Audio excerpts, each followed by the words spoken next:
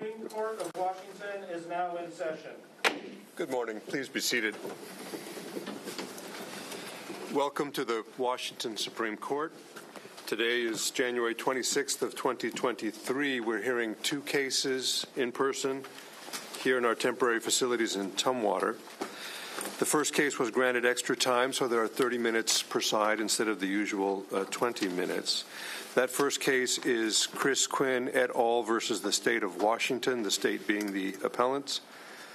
Opening for the state is Noah Purcell for 15 minutes and Paul Lawrence for eight, with a response from Callie Ann Castillo for 20 and Robert McKenna for 10, with rebuttal reserved seven minutes for Noah Purcell. Counsel, please proceed.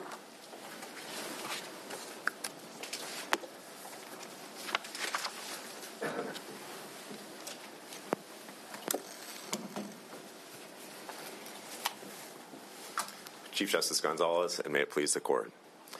Our legislature enacted the capital gains excise tax to fund education and to help rebalance our state's tax code to make it less slanted against low and middle income people. The plaintiffs in this case are asking you to overturn that legislative judgment, but they have come nowhere close to meeting their burden of proving this tax unconstitutional. And the plaintiffs offer three arguments, and I'll address each one in turn. But first, to explain why their arguments are so flawed, I want to briefly recap how the tax operates. The capital gains excise tax applies only when a person sells certain types of assets, such as stocks and bonds, and receives a gain of over a quarter of a million dollars in a single year. The tax does not apply to sales of real estate, uh, farmland, retirement assets, and because of the tax's exemptions and deductions, less than one in 1,000 Washingtonians will pay the tax in any given year. Now, these features of the tax help demonstrate why plaintiffs' first argument their claim that this is a property tax is so clearly wrong under this court's precedent. Since the 1930s, this court has held over and over again that a property tax is a tax that a person owes just because they own property. And that their first argument is that this is an excise tax rather than an income tax. And I think your summary of the tax and the fact that stocks and bonds sold on an exchange that's outside of Washington or the subject of the tax weighs against your argument, doesn't it? Uh, no, Your Honor. So, sorry. Their their argument is that this is a property tax, and our argument is that this is an excise tax. And the fact. I'm sorry. I was there. Okay. I switched it around. Okay. Sorry. Um, I just want to um, make sure I understand the question.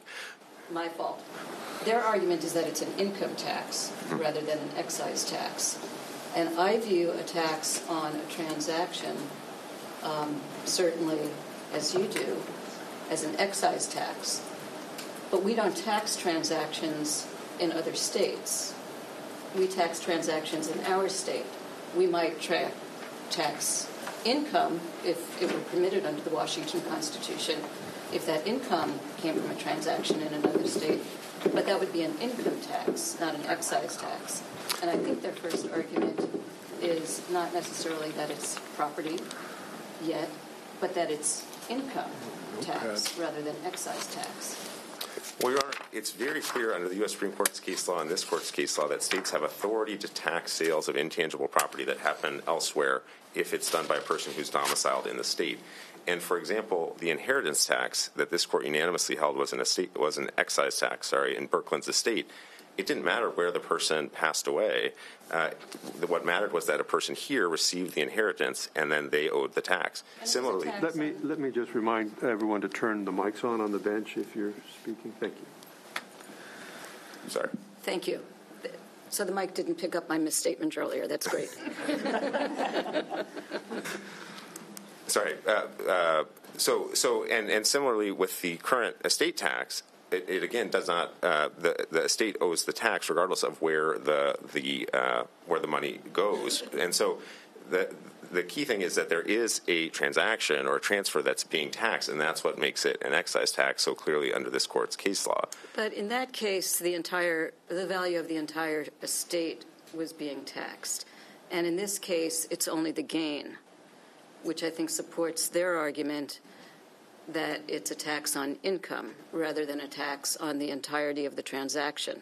And I understand your answer is that, oh, no, that's just how we're valuing the tax. But the fact of the matter is that if I sold stock on the New York Stock Exchange and took a loss, you wouldn't be taxing that. Well, a couple of points about that. First of all, the estate tax does involve actually a netting of profit and loss. So the, the assets are, uh, the liabilities are netted out before you apply the tax. So that is an example of where it's not just a gross value. And the other key point there, Your Honor, is that the other side is saying that if something is applied to a profit, it must be a property tax. But if something is applied to a gross value, then it can be an excise tax. But the fundamental, most basic example of a property tax that we have in this state, the, the ad valorem property taxes that people pay on their homes or their business property, is based on a gross amount. You just pay based on the value of your property. It has nothing to do with profits. So the idea that if something is based on profits, it must be a property tax it has no basis in the case law or in, in logic. There's no case that says that. And so, you know, they've, they've kind of made that argument, but it, it just doesn't have a basis in the case law. Can you explain the, relationship, if any, um, of your argument that this is an excise tax to arguments about the definition of property and, in particular, intangible property? There's discussion in other briefing, I'm not sure it's in the state's briefing, about property as an expected, or excuse me, income as an expectancy doesn't meet the definition of property, et cetera. Does your argument that this is an excise tax require the court to consider the nature of income? No, Your Honor, because the court has held many times that a transaction can be taxed even if it generates income. So, for example, the real estate excise tax, when someone sells real estate, whether it's their home or a rental property, they obviously earn income from selling that property, but nonetheless they owe the real estate excise tax on that transaction. When a small business owner a small business owner like a plumber or an accountant earns their income from their small business, but nonetheless they owe the business and occupation tax on the business's income. And so the fact that a person generates income by engaging in a transaction does not mean that a tax on that transaction becomes an income tax or a property tax. And this court's case law is very clear about that. So regardless of kind of how you treat income, the fact that the transaction generates income does not turn this into a property tax. And, and again, I, I would say maybe the most straightforward example of that is the real estate excise tax that this court unanimously upheld in the Mahler case there, obviously, the underlying asset is property. It's real property. It's your home or it's a rental property that you own, and you own it and you owe property taxes every year on it. But then when you go to sell it, you owe the real estate excise tax, and that is this court unanimously held an excise tax, even though there's no dispute that the underlying property is property, and there's no dispute that you get income from selling the property. Wasn't that a case where the tax was on the sale of property wholly within the state of Washington? Um, and it was therefore characterized as an excise tax because the state of Washington can properly tax transactions in the state of Washington, and I think it upheld a tax on the transaction itself based on the value of the unit of property sold without regard to whether there was a gain of loss, which is also different from what we have in this case? Well, it's true that the real estate excise tax only applies to sales of real estate in Washington. But again, it's, it's black letter law that states have authority to tax transactions that happen outside of the state if they're by people who are domiciled in the state. The Supreme Court has held that, the U.S. Supreme Court has held that for decades, and so has this court. And, Your Honor, I think it's also. Well, some transactions. I mean, if I buy a slice of pizza in New York, you can't tax me as the buyer, and you can't tax the seller Sorry, Your Honor. passing it on to me as the yes, buyer. If sales of intangible assets or transfers of intangible assets like stocks or bonds, the Supreme Court has been very clear, and so has this court in Curry versus McCanless and Plaster's estate, that those can be taxed regardless of where the transaction occurs. If there's some nexus with the state. Well, the, and the nexus is provided by the fact that the, the person who gets the benefit is domiciled here. They live here. They get the benefit of our court system, of our education So system, that- our roads. So the nexus is based on the income, not the transaction itself. Well, no, Your Honor. The, ne- the person only receives income from the transaction if there is a transaction. There has to be a transaction. And, and I think it's helpful to think about. Of course, but you're saying that the nexus with the state of Washington is the fact that me, as the seller of the stock in Washington, can put the money in my pocket in the state of Washington. That Your has Honor- nothing to do with the fact that the transaction might have occurred on the NASDAQ or the New York Stock Exchange. Your Honor, the exact same is true of the inheritance tax or the estate tax, which this court unanimously held that both were excise taxes. So, so the, regardless of where the person passed away, if the person inherits the money here, they owe the tax. And, and, and, and so, uh, and I think it's helpful to think about the legislature could have structured this tax so that every time a person engaged in a transaction, they owed the tax.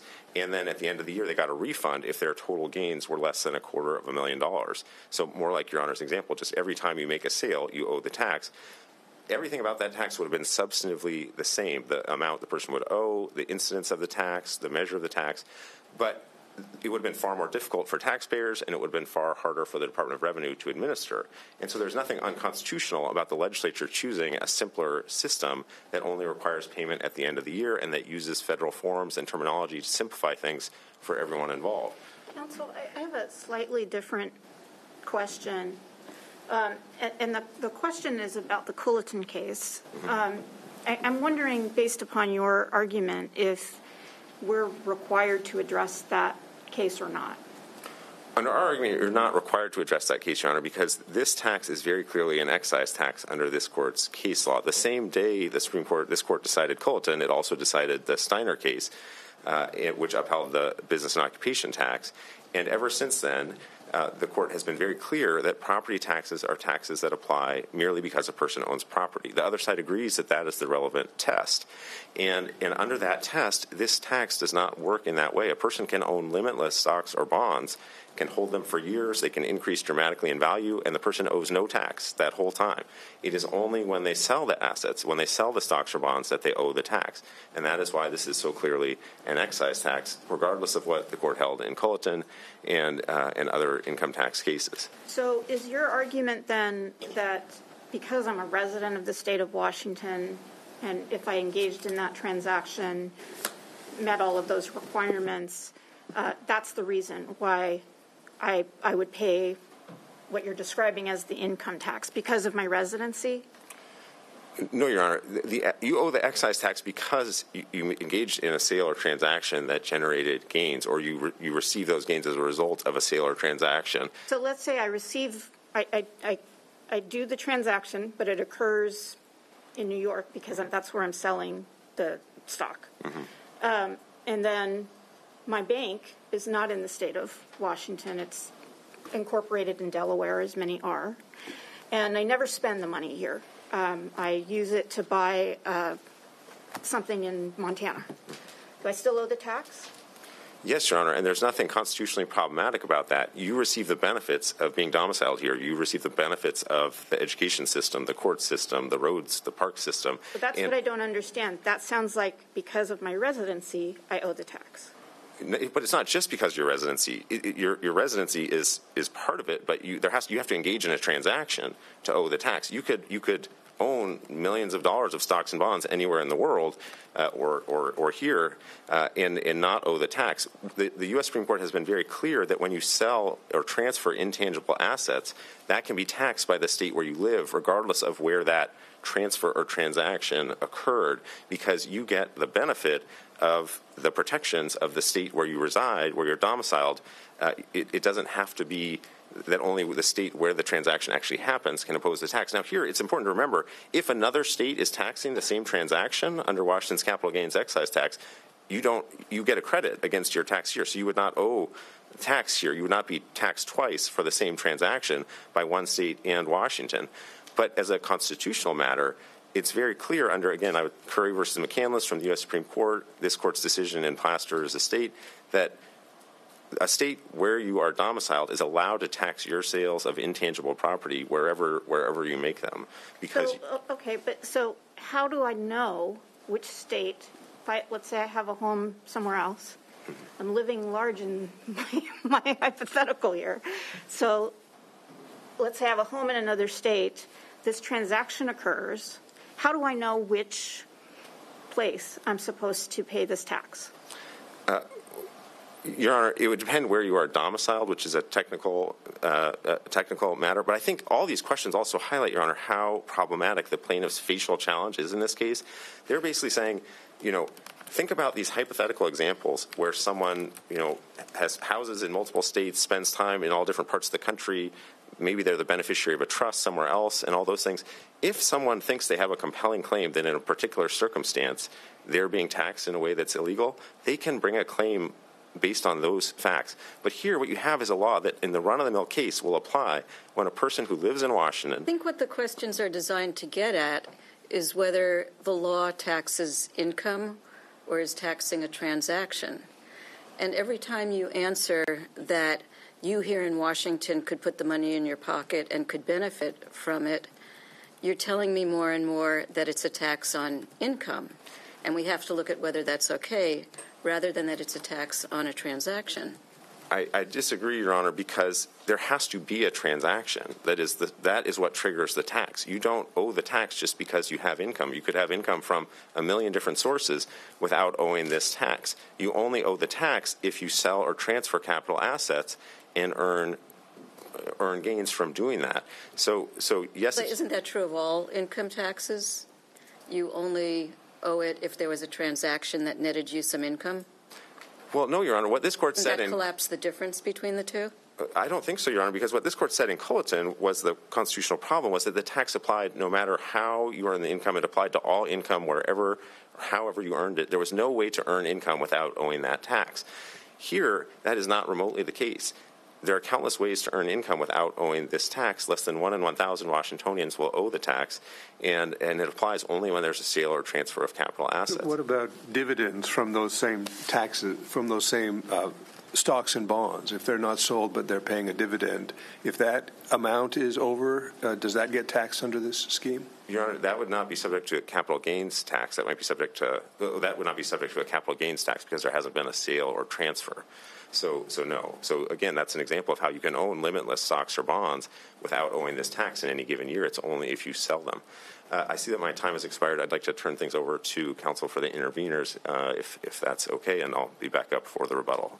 We'd ask that you uphold this tax. Thank you. Thank you.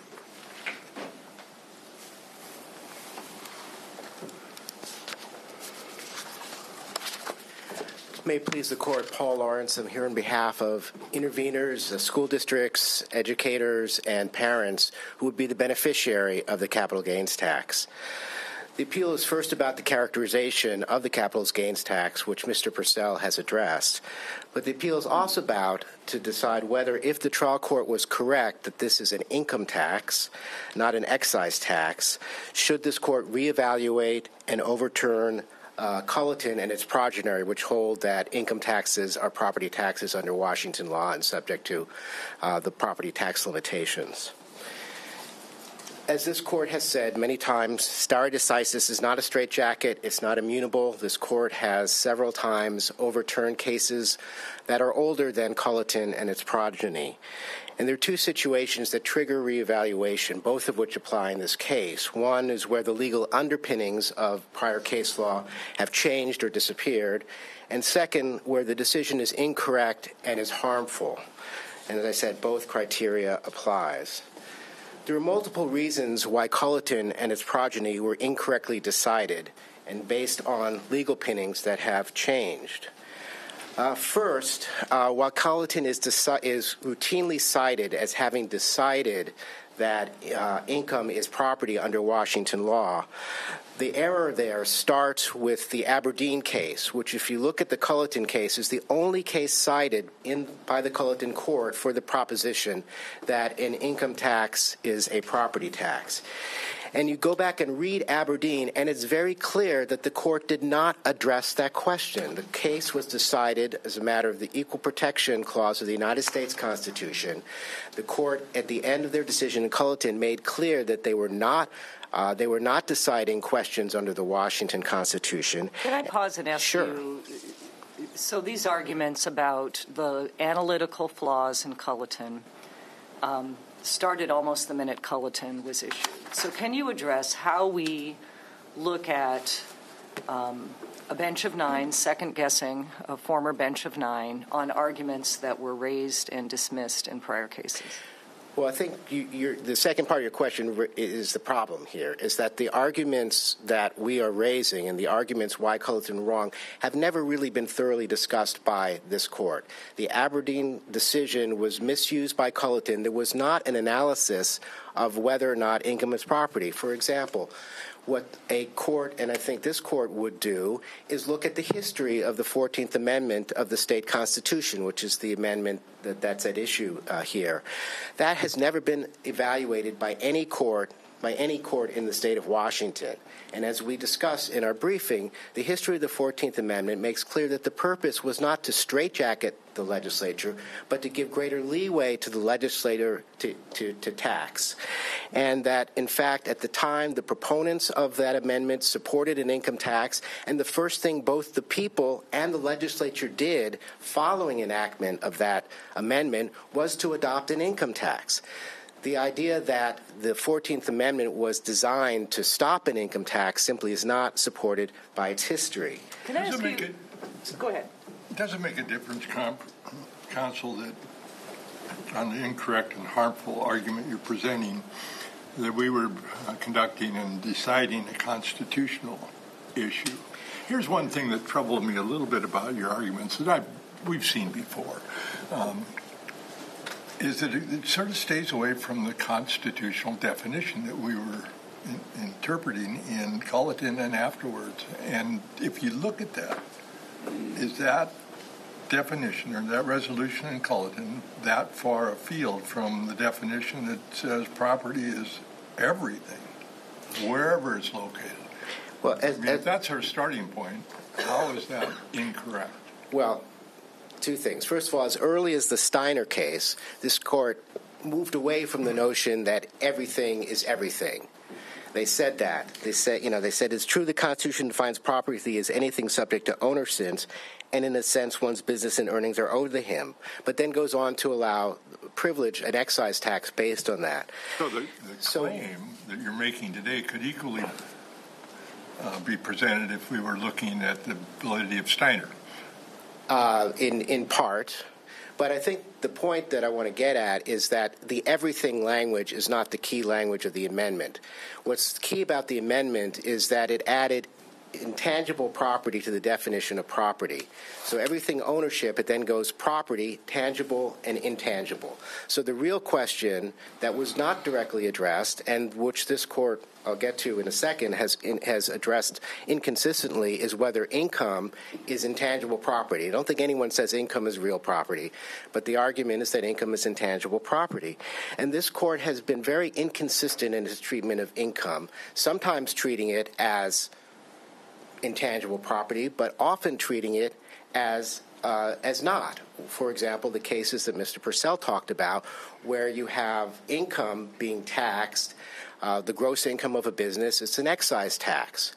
You also have uh, the case where this court upheld the taxation of the income of public employees uh, above a certain level.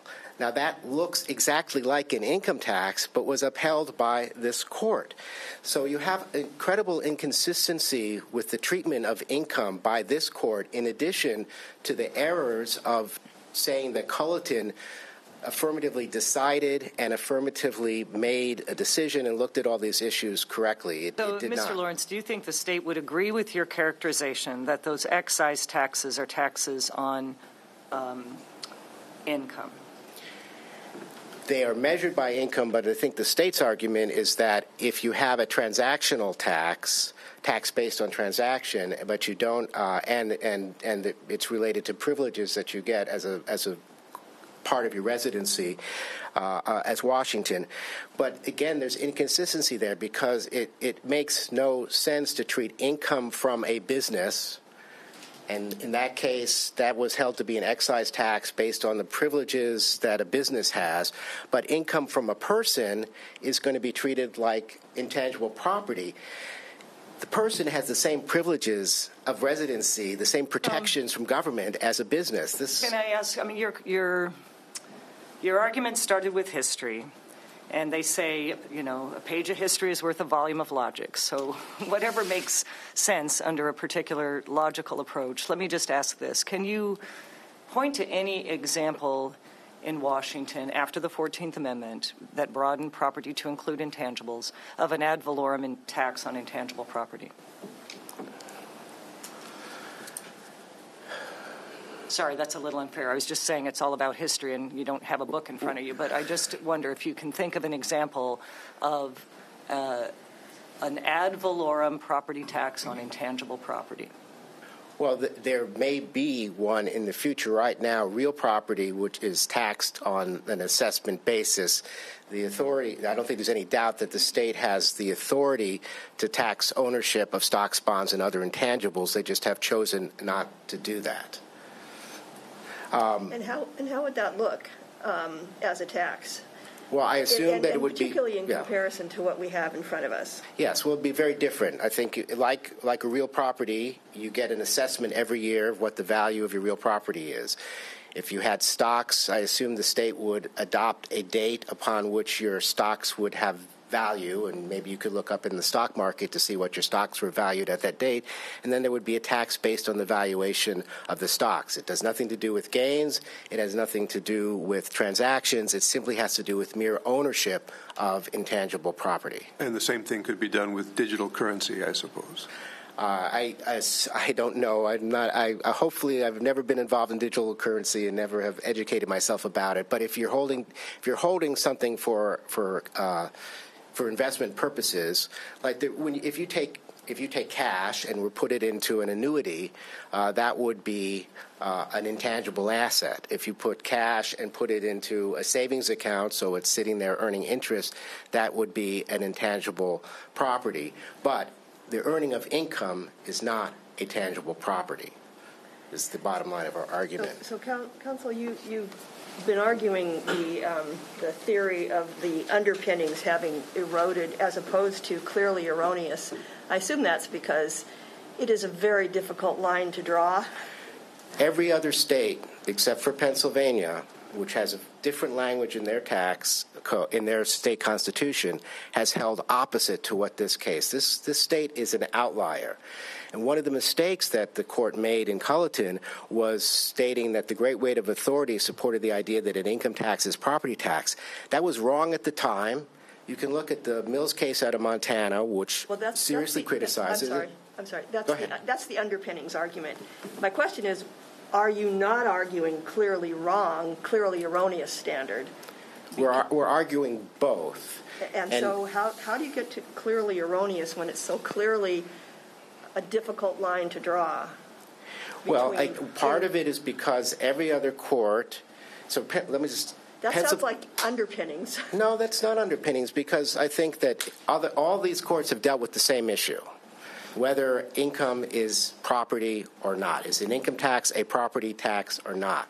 The only other state that has held that is, is in Pennsylvania, but their state constitution provides that all taxes, period, all taxes are subject to the property tax limitations. It doesn't distinguish between property taxes and non-property taxes. So that that outlier is not helpful to this court. Every other state, every the scholars that have looked at this routinely hold that an income tax is either an excise tax or sui generis, that is a tax unto itself, but it is not a property tax. So, as a, as a legal analysis matter, it doesn't make sense that a uh, income tax is a property tax. And Thank you. Mr. Lawrence, your time has expired. You may briefly state the relief you request. Thank you, Your Honor. Uh, we believe that uh, this should be upheld as an excise tax, but if it's treated as an income tax, this court should reevaluate Culleton and its progeny, progeny, overturn those cases, and provide, again, the inherent powers that the legislature has to make taxing decisions that are fair and equitable and that provide valuable in revenue to service what the state needs to serve. Thank you. Thank you. Ms. Castillo.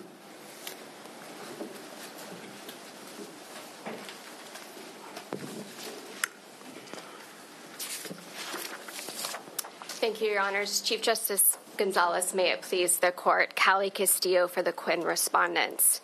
This morning, I'm going to highlight the focus of why the con- capital gains tax is unconstitutional.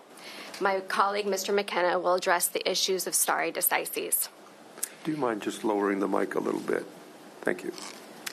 The capital gains tax is unconstitutional for three independent reasons, which this court need only reach one to invalidate the tax.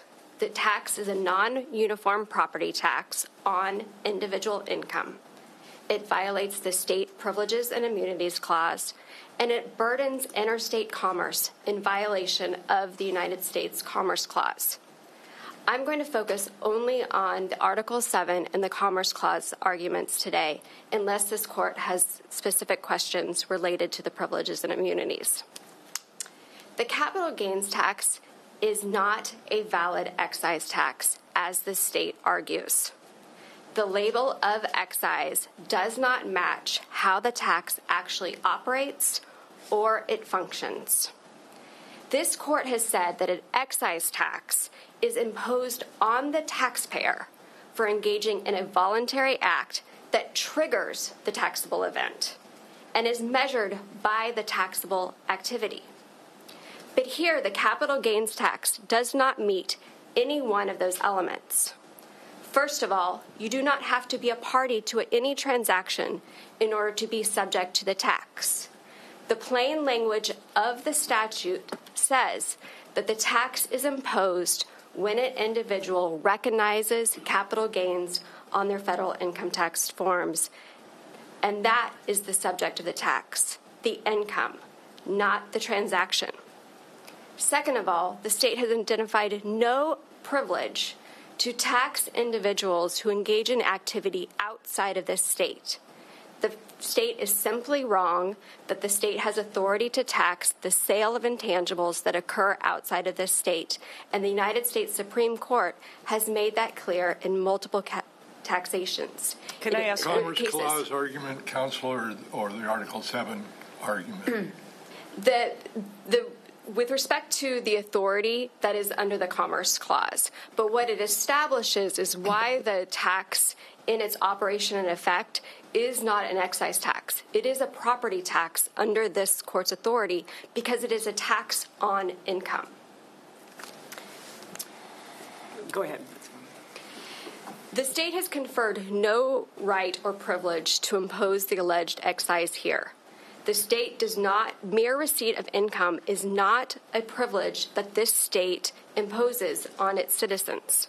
Counsel, do you make a distinction between this, the way this tax works, and the real estate excise tax? Yes, Your Honor. In the real estate excise tax, it is imposed on the party engaged in the transaction. It is based on the individual transaction of the sale of the real property, and it is measured by the purchase price of the property.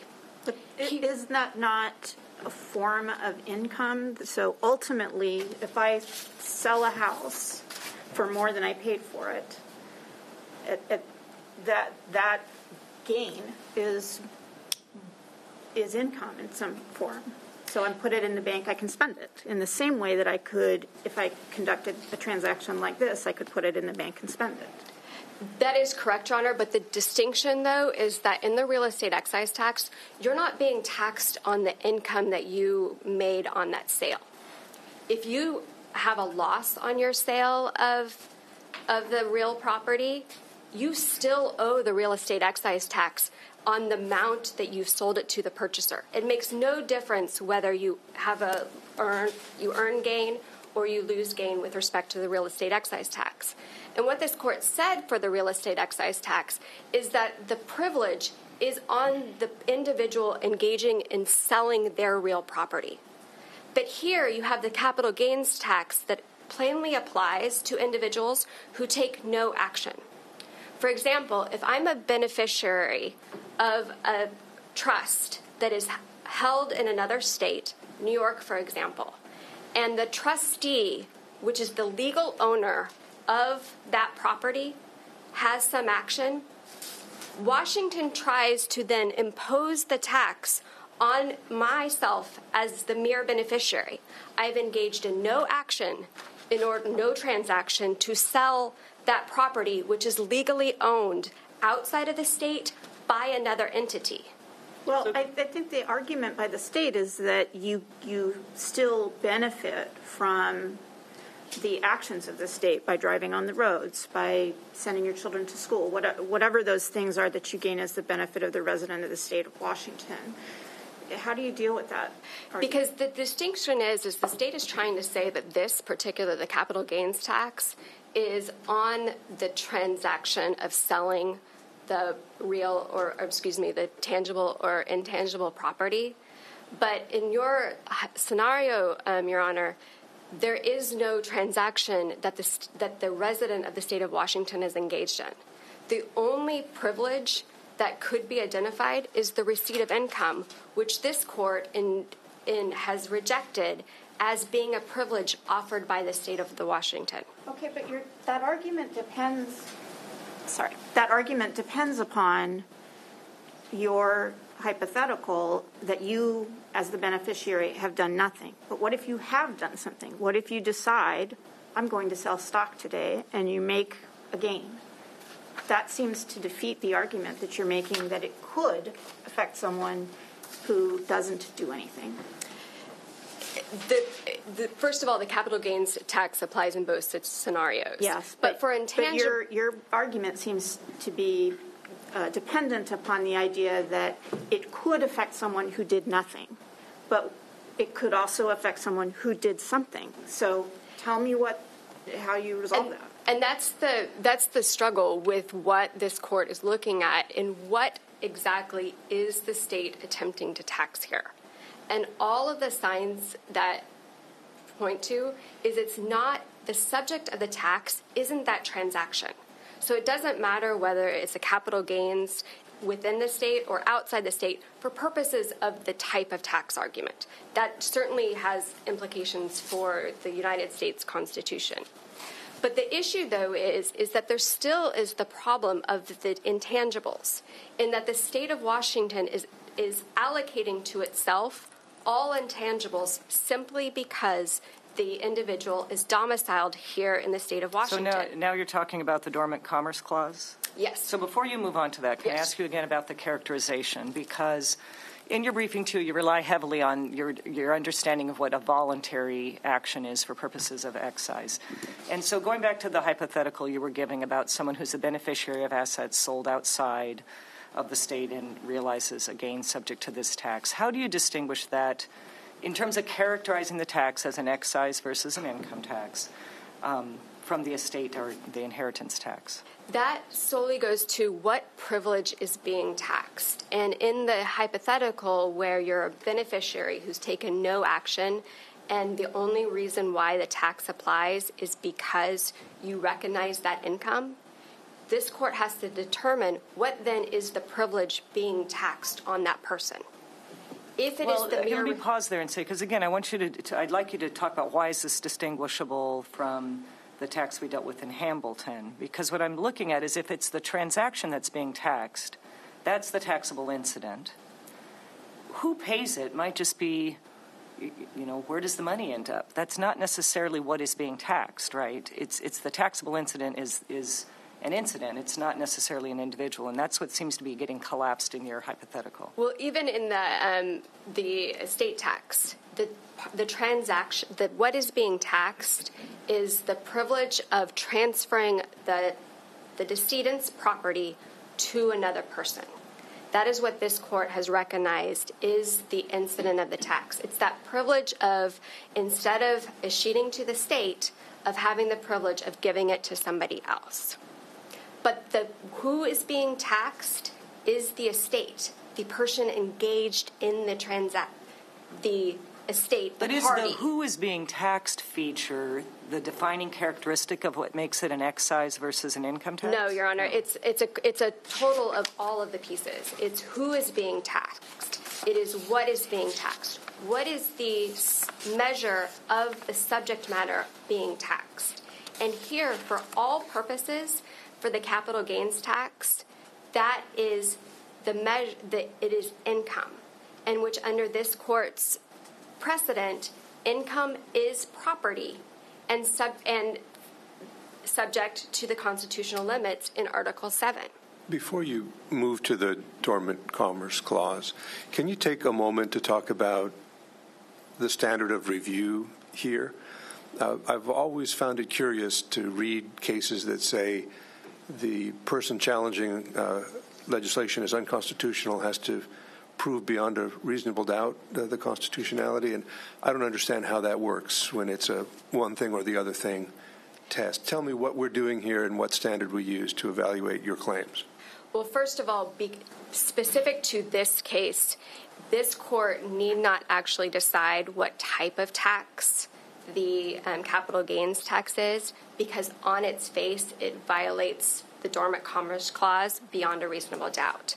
But if this court were to decide that it is a property tax, then it also plainly, with beyond a reasonable doubt, violates Article 7 because it is not uniform and the tax rate exceeds that 1% tax limit. So the standard of review here is whether this court, on the face of the statute, whether it violates both of those constitutional provisions, this Article 7 of the state constitution and the Commerce Clause. And the plain language of its entirety does.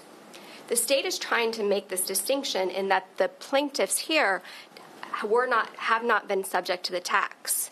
But that is not the standard of review um, in terms of a constitutionality under the Dormant Commerce Clause, because it is the operation and effect that matters based on the language. A taxpayer need not suffer any sort of harm in order for a tax to be stricken down under the Dormant Commerce Clause. Can I maybe I need to clarify there because I didn't see there being any standing issue in front of us. Um, and, and I'm not sure I understood that the beyond a reasonable doubt uh, nomenclature, which, like Chief Justice González, I find, um, and we've addressed that to some extent, uh, what that means. I'm not sure it equates one to one with the nature of a facial challenge. I see those as different questions. But maybe you could explain what you're getting at there because I see this as a facial challenge. You're saying in no application could this tax stand under those two provisions? Am I misunderstanding the argument? No, Your Honor. I'm sorry. I was picking up on um, what my colleague, um, Mr. Purcell, had used in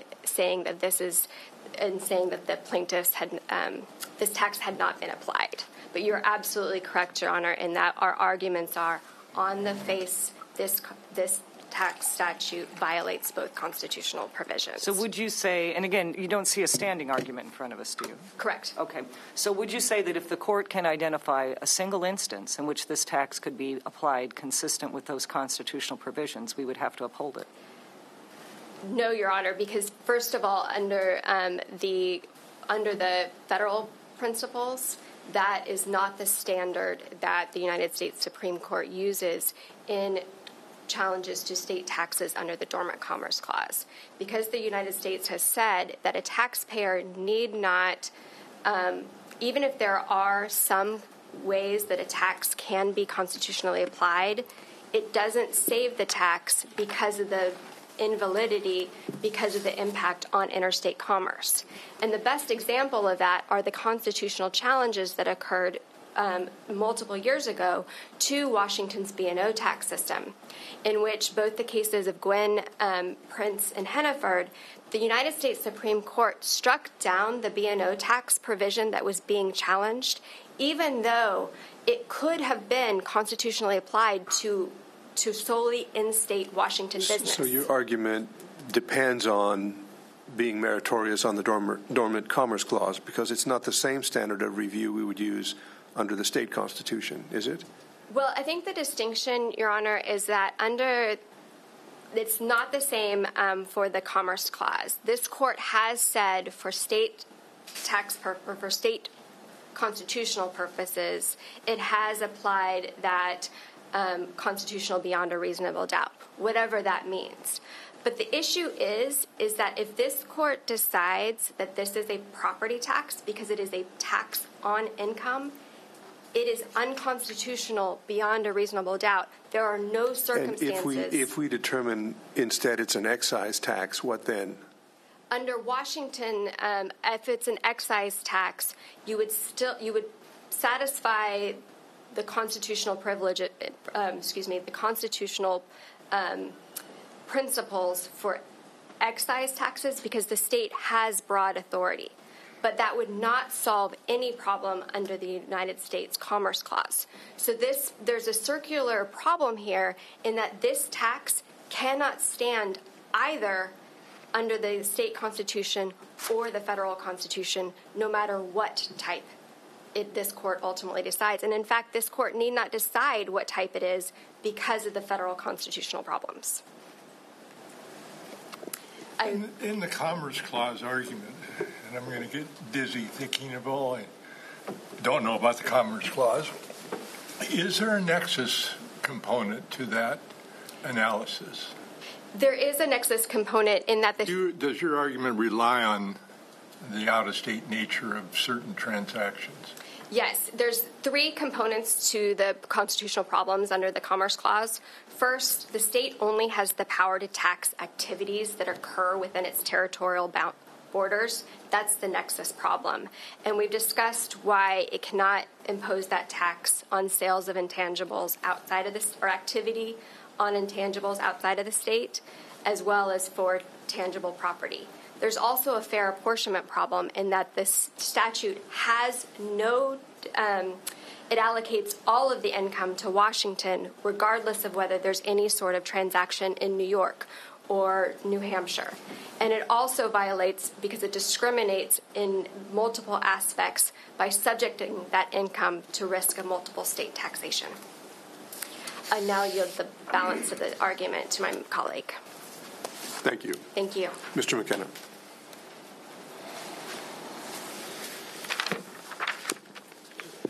Mr. Chief Justice, may it please the court, Rob McKenna for the Clayton plaintiffs. The capital gains tax is not an excise tax, it's an income tax. Every taxing authority in our nation, from the IRS on down, treats taxes on capital gains as income taxes because capital gains are income. Do those other jurisdictions treat income taxes as property taxes or as excise or sui generis taxes? They treat them as uh, income taxes. In our state, income, the law is that income is property. I You can have an recognize that. income tax is if it meets the requirements for property taxes. But out of state, how many other jurisdictions say that a tax on income is a property tax? Our court, this court, and our laws rely on what our Constitution says. And the U.S. Supreme Court observed in Hale v. Iowa Board that the definition of property is up to the states. And in that decision, they actually cite Culleton and Jensen v. Henneford as examples of a state which has defined income as property. Culleton Court and every court all of your predecessors since then have held that what matters for our purposes in this state is what our Constitution says. It, the Culleton Court rejected reliance on other state constitutions, other state authorities. They also didn't just rely on Aberdeen. The Culleton Court observed that Aberdeen, which was a decision handed down in June of, 1930, uh, of June of 1930, was decided before the voters approved Amendment 14 to the Constitution in November of 1930. And the Culleton Court pointed out that when the voters approved that amendment, adopting a definition of property as broad as can be imagined, uh, more than any the, the most profound lexicographer uh, could could uh, come up with.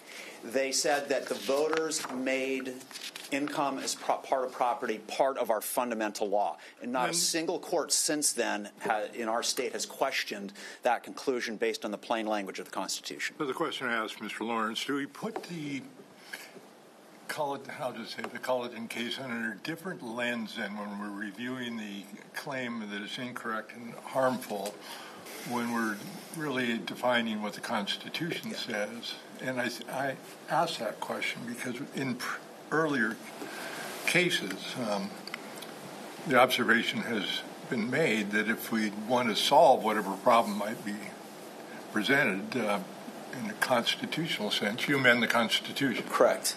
And the Culleton court made that point as well, Your Honor, because the Culleton decision was about a voter approved initiative in 1932 that would have allowed. Uh, created a progressive income tax. And the Culleton court simply pointed out that just as the legislature cannot amend the Constitution legislatively, the voters cannot amend the Constitution by adopting a piece of legislation.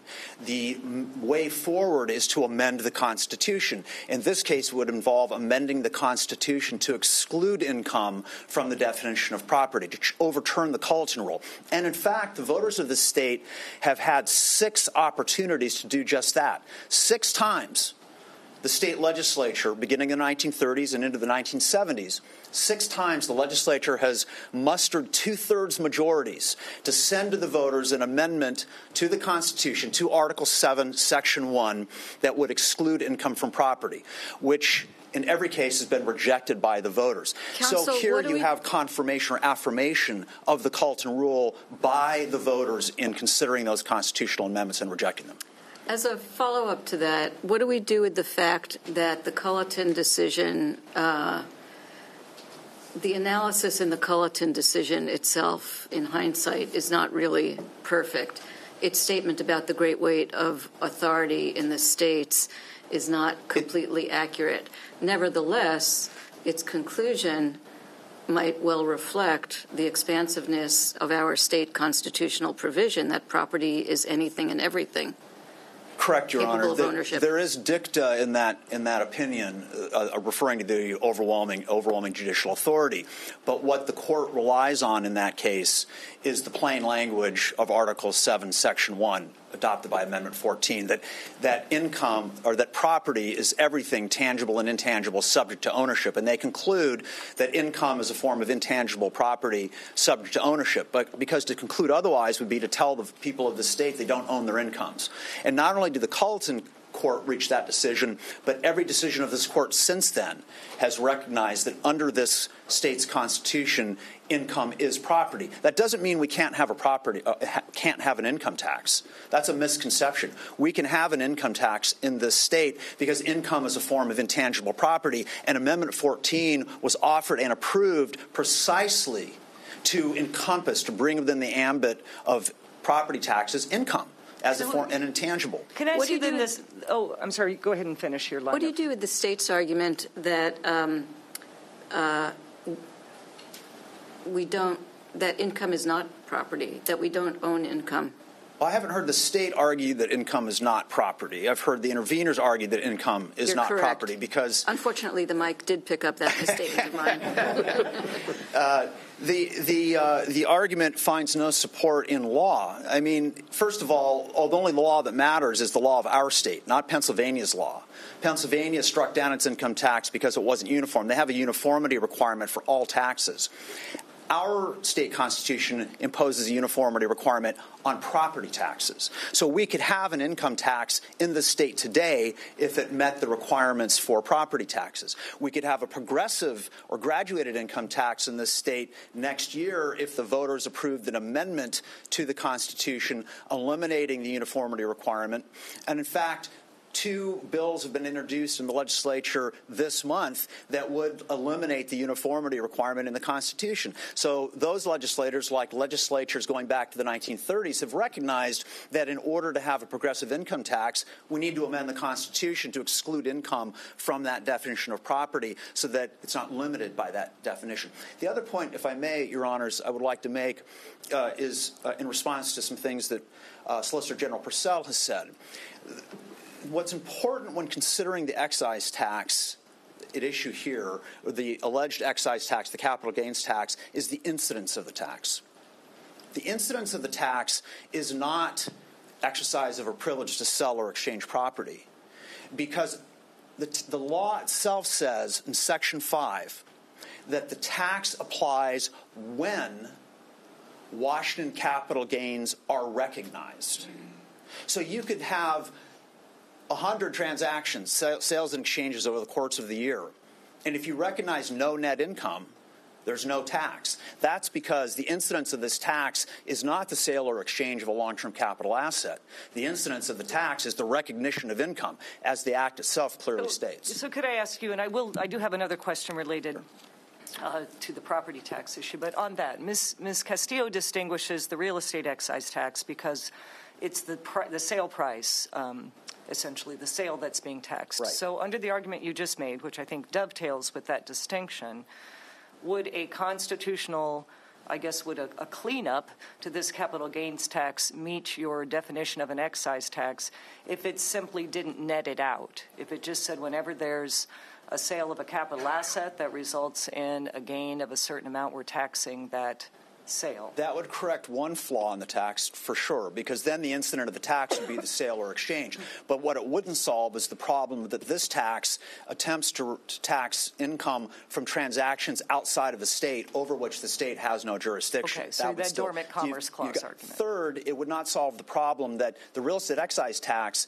is imposed on uh, the parties to the transaction, to the legal owner. This tax is imposed on income recognized by, among others, beneficial owners who aren't parties to the transaction, who have not engaged in a voluntary transaction. So this tax uh, could could an excise tax be created on the sale or transfer of long-term capital assets? Yes, if it applied to the parties to the transaction if the activity was limited to the activity within the state of Washington, not, si- not outside the state of Washington, and so forth. Okay, so my, the question I asked opposing counsel, and um, it goes back to the 14th Amendment, which encompasses intangible property. Um, can you give me an example of an ad valorem property tax on intangibles? Uh, not off the top of my head, no. Uh, property, you know, you know, there are two. There, there are uh, two kinds of taxes. There are in, there are excise taxes and there are property taxes. Excise taxes are indirect. They're voluntary and they're imposed for the exercise of a substantive privilege granted by the state. Property taxes are direct taxes that are unavoidable.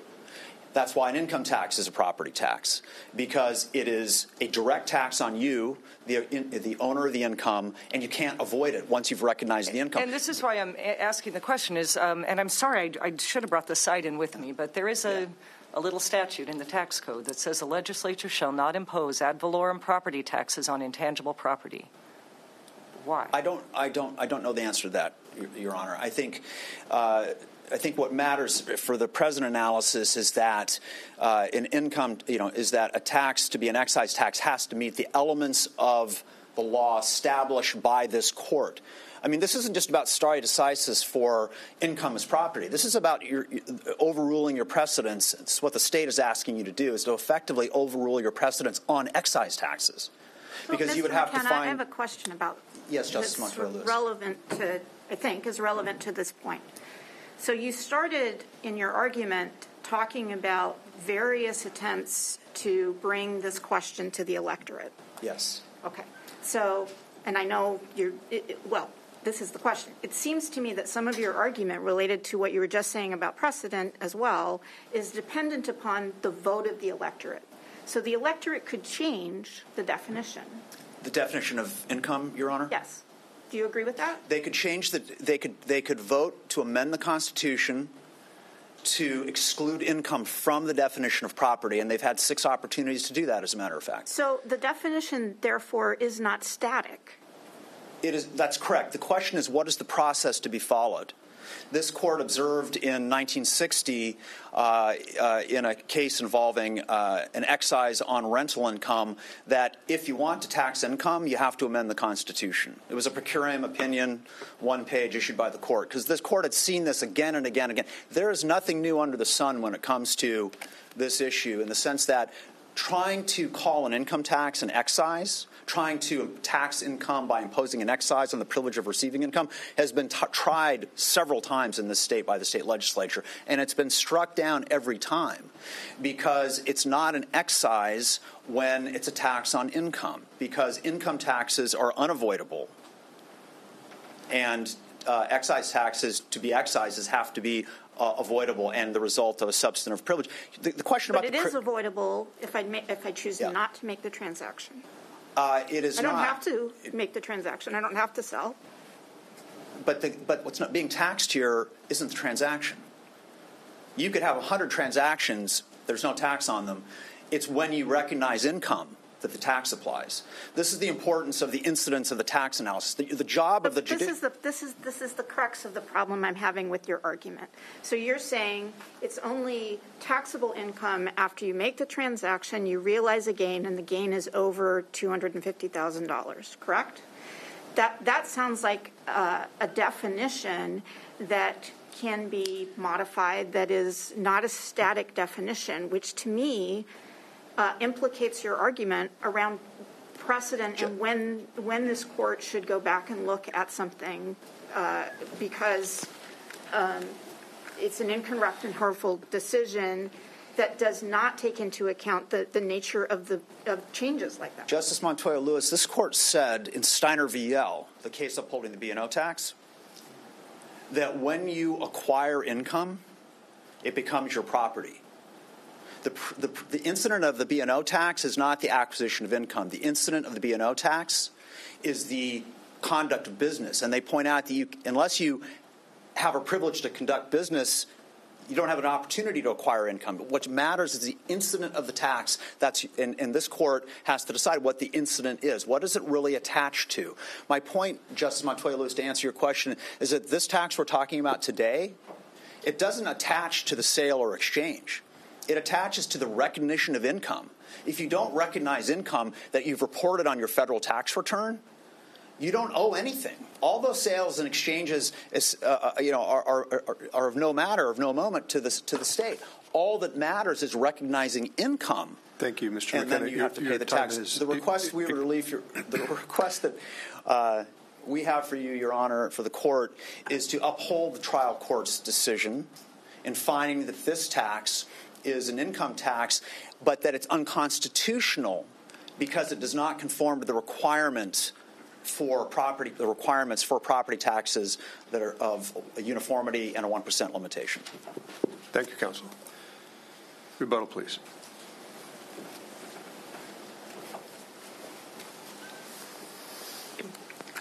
Thank you, Your Honor. There's five points I'm hoping to make if time will allow. So, I hope you'll, maybe not. Uh, sorry. I hope you'll address the last point first if you would. The last point, sorry, which last point by made, made by Mr. McKenna um, as to the incidents. What you know that you're not taxing the transaction. Well, Your you are absolutely. I'm happy to. So, as I said before, if the legislature restructured this tax so that you had to pay it every time you engaged in a transaction, it would be substantively identical, except that it would be far more difficult for taxpayers to comply with and for the department to comply with. But there would be no substantive difference. The measure of the tax would be the same. The incidence of the tax would be the same. The amount you would owe would be the same it would be the same. So, so, and to give a flip side of that, under the other side's theory, suppose the legislature changed the real estate excise tax and said, you know what, instead of taxing the whole amount of the sale, we're just going to tax how much your property went up in value since you bought it. Under their theory, that tax becomes unconstitutional overnight just because the legislature changes the, the uh, you know the measure from the total sale amount to the profit you earned. That makes absolutely no sense. So and, your your position is that it's it's um, uh, just how you measure what you owe. Is that essentially it? Yes, and this court has said many, many times that the measure of a tax can be income. The court said that in Stiner. The court even said that in Power versus Huntley. That doesn't turn it into an income tax. The, what, what's taxed here is the transaction, and the measure of the tax is how much you earn, but that does not turn it into an income tax. Um, I also want to make sure to address the other side's point about pass-through entities, and there's there's a couple points I'd like to make about that. So first of all, I think it's very telling that their lead example is not an ordinary case where someone sells their own stocks or bonds, like Justice Montoya Lewis pointed out, but instead they have to reach for this kind of strained example. Uh, and, and it's telling because, Your Honor, but even as to that strained example, it's still not a property tax. It's not a tax you owe just because you own property. You can own shares in an S corporation or be the beneficiary of a trust without owing this tax. It's only if there is a transaction that generates capital gains that you owe the tax. But they're saying that the, the incident there is the receipt of the income, not the sale of the property. That it ties into the argument about it not being voluntary. Well, Your Honor, I would say look at the inheritance tax that this court unanimously held in Birkeland's estate is an excise tax. There, the person who owes the tax, all they do, literally all they do, is they get an inheritance. They get a check. They do nothing else. And this court held that is an excise tax. You're being taxed on the privilege of receiving that inheritance. Here, the person is not only receiving the benefits of the transaction, they're also choosing to participate in this legal structure, this whatever it may be, S corporation, pass through entity, trust. They've gotten benefits from that tax structure for years. There's, there's nothing uh, there, if, if, if it's an excise tax to tax just because you received an inheritance, it's clearly an excise tax to tax that level of transaction. Mr. Purcell, can I just ask you, uh, I, as briefly as I can? Mm-hmm. Um, it's settled law that if I'm an enrolled tribal member and I live and work on my reservation, that that uh, income is not taxable by the state. Correct? With me on that? So far, yes. Okay. So if I, if that is my circumstance, I live and work on my reservation where I'm an enrolled tribal member and I engage in one of these uh, sales and realize a capital gain that is over the amount of $250,000, do I owe the tax? Your Honor, there has been no. Uh, I know there's no law. There's That's no, not no my question. uh, I suppose a person could bring an as applied. Uh, there's multiple layers where the department would review a claim like that. A person could say, "I should not owe the tax because I'm a tribal member and I live on the reservation," and um, and the department would review it. And the department has authority itself to not apply a tax where it would be unconstitutional. A person could also bring an as applied challenge. I'm not prepared to give an across the board answer to that question right now because, uh, you know tax law, as we've all been, is very complex, and especially when you add in the elements of tribal immunity and tribal sovereignty. So I don't want to. Uh, I don't want to speculate about something that's not presented, which is all the more reason emphasizing why uh, the facial nature of this challenge is problematic. If I could say one other thing, it would just be that every, virtually every other state has a capital gains tax, and yet the other side has not cited a single case striking down any of those on dormant commerce clause grounds. So you would think that while this area is confusing and complicated, as Justice Johnson pointed out, you would think that at least one of those would have been struck down on dormant commerce clause grounds, and yet not a single case. Thank you. Uh, you. Your time has expired. You may briefly summarize the relief you request.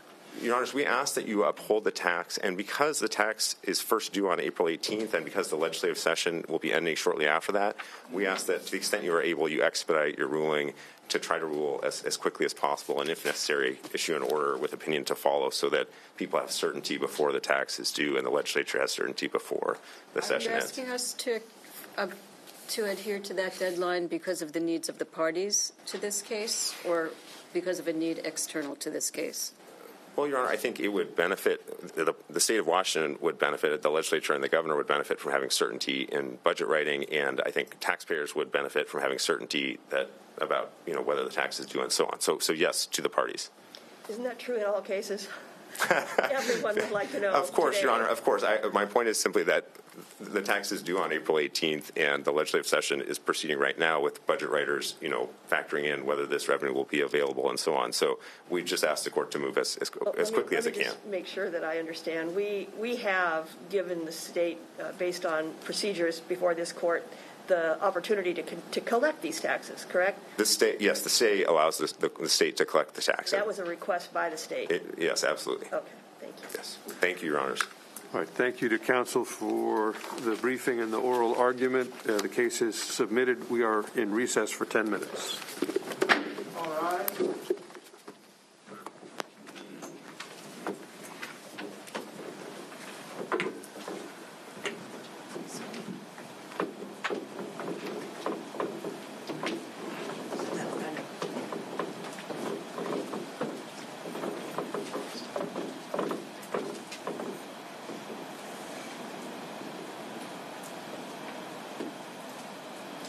The Supreme Court is in recess.